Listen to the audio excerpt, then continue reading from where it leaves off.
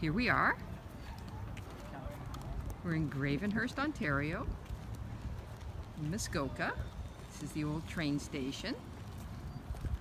So we're enjoying a little stroll down memory lane. This is where Dad used to live. It's really pretty. This is the wharf.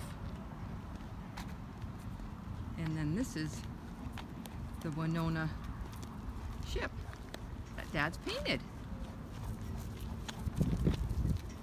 So we're just gonna enjoy a little walk. Actually, I think I'll get ahead of you. So I can see you coming. There, that's good. Now we can walk side by side. This is Ellie enjoying her tour of Muskoka. Look at the ship, Ellie. This is the first ship you've ever seen. Ellie, your ship's come, come in. There we go.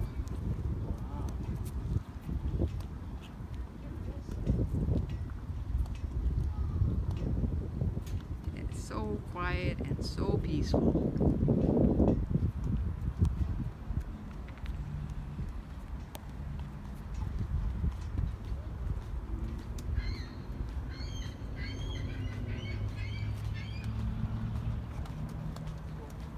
We are.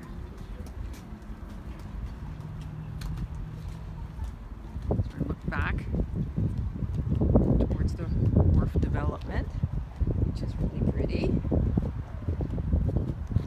then we're just going to come around here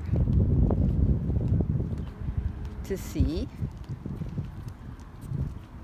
beautiful Lake Muskoka viewed from the Gravenhurst Pier